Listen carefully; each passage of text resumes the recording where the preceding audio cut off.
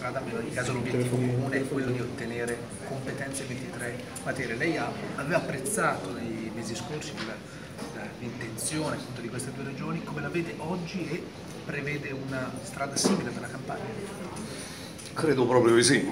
Innanzitutto voglio ricordare che siamo stati più virtuosi del Veneto e della Lombardia, perché loro hanno fatto un referendum, hanno speso 20 milioni di euro per mandare la lettera al governo per chiedere la discussione. Noi abbiamo mandato la stessa lettera senza fare il referendum, quindi abbiamo fatto un'operazione di risparmio. Battute a parte, siamo interessati a questa discussione sulla base di alcuni principi chiari. Per me l'unità nazionale è un valore sacro e su questo non si discute. A partire da questo tutto può essere valutato e migliorato in direzione dei territori, dell'autonomia e dell'autogoverno tranne alcune funzioni centrali che riguardano la sicurezza, che riguardano, io credo, la pubblica istruzione, quindi i processi formativi, oltre che i temi economici, per il resto più si decentra, più si responsabilizzano i cittadini e i territori, più si consente ai cittadini di valutare la qualità delle classi dirigenti, meglio è. L'autonomia per me significa anche uno strumento per valutare e distinguere i cialtroni dagli amministratori seri, quindi credo che dovremo affrontare questo discorso dell'autonomia con grande libertà. Chiariamo ovviamente che poi arriveremo al punto di sostanza che è quello che riguarda il riparto delle risorse e lì il discorso sarà un po' più complicato. Per quello che ci riguarda riteniamo che per esempio il criterio della spesa storica sia non più tollerabile da parte del Mezzogiorno cioè l'idea che chi è stato nell'inferno debba continuare a sprofondare ancora di più nell'inferno è un'idea suicida per l'Italia, non penso. Quindi Ma lei è d'accordo a che ci sia una ripartizione del residuo fiscale più favorevole alla Lombardia, al Veneto, alle regioni del nord?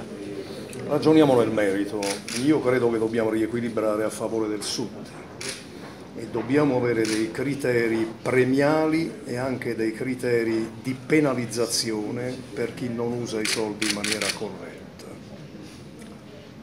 Per fare un esempio, Napoli, la città di Napoli è la città d'Italia che riceve i maggiori trasferimenti da parte dello Stato.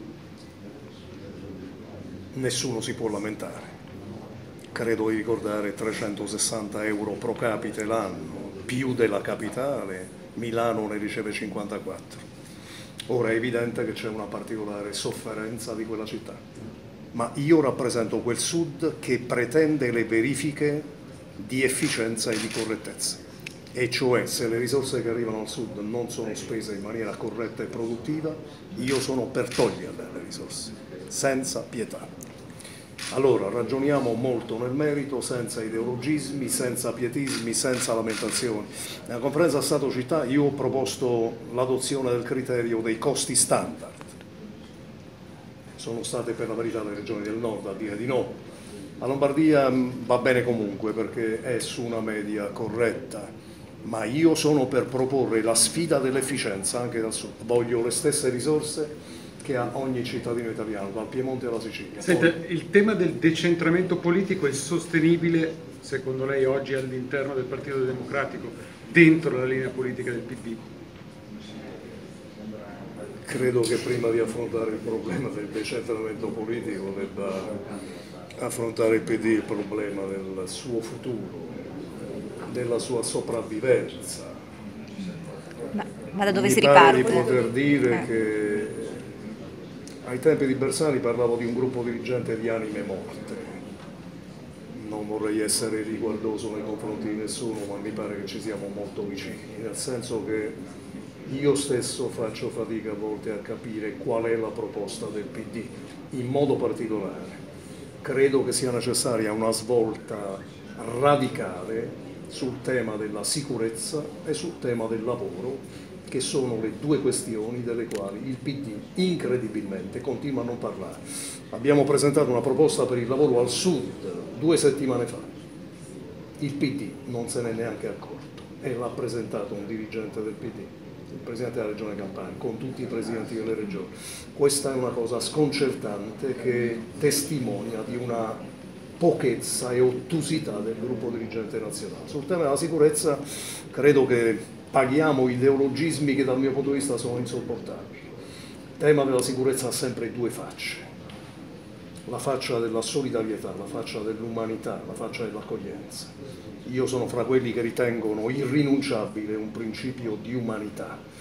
Quando vedo bambini che arrivano abbandonati, soli, credo che abbiamo il dovere umano cristiano di accoglierli. Quando vedo il volto di quel bambino, Aylan, con la faccia riversa su una spiaggia della Turchia, io penso che un essere umano non possa girare la testa dall'altra parte. Poi c'è l'altra faccia, che è quella che il PD ignora totalmente, quella della sicurezza. E su questa seconda faccia del problema il PD non dice una parola e questo è intollerabile. Nelle aree urbane c'è un problema di sicurezza e il PD non se ne accorge. C'è una domanda di sicurezza che non coincide necessariamente con eh, il carattere razziale dei delinquenti, sono delinquenti anche italiani. Io credo che dobbiamo approvare un nuovo quadro legislativo che consenta alle forze dell'ordine di garantire la tranquillità delle famiglie. Chi chiede sicurezza non è un repressore, è una persona che, come me, vuole essere lasciata in pace con la propria famiglia. Questo Vabbè, ma a questo punto lei il PD lo vuole superare, chiudere come suggerisce Calenda oppure no? non mi interessano le discussioni formali, a me interessa una discussione di merito che ancora non c'è, ho tentato di proporla, ma ripeto, c'è un livello di ottusità burocratica che è diventato davvero patologico. Mi interessa nel merito capire che cosa proponiamo agli italiani. Sicurezza, qual è la proposta? A me gli ideologismi non dicono più niente. Ma lei cosa proporrebbe? Possiamo, le ho detto un attimo fa, propongo che ci siano delle leggi completamente rinnovate a tutela della sicurezza. Più severe, insomma. Contro la microdelinquenza, contro l'accattonaggio molesto, contro quelli che vengono in Italia per fare spaccio di droga e organizzare la prostituzione, quale che sia la nazionalità. Non credo che possiamo mettere un cittadino che chiede sicurezza nella condizione di sentirsi quasi colpevole di questa richiesta, ma quando mai? E continuo a rilevare che il PD è totalmente lontano da questa domanda di sicurezza della povera gente, perché la sicurezza riguarda la povera gente, quelli che vivono nei quartieri, nelle ville comunali, non quelli che hanno i miliardi che la vita sociale se la vivono da altre parti. Dunque, Ma la differenza con la destra lavoro? Pubblica amministrazione, codice degli appalti tema della giustizia. Queste sono le questioni su cui si definisce un profilo programmatico e su tutte queste questioni, a cominciare da me, non ho capito che cosa propone il PD. Quindi la, la destra ha intercettato meglio queste esigenze, insomma, secondo lei? Senza dubbio. Sarebbe difficile non rilevarlo dopo questo risultato elettorale. Ovviamente anche qui una parte della destra rischia di fare l'errore opposto, di vedere solo un lato della medaglia e non i due lati della medaglia del problema sicurezza. Io credo che un paese civile debba avere una, una posizione equilibrata rispetto a questo tema.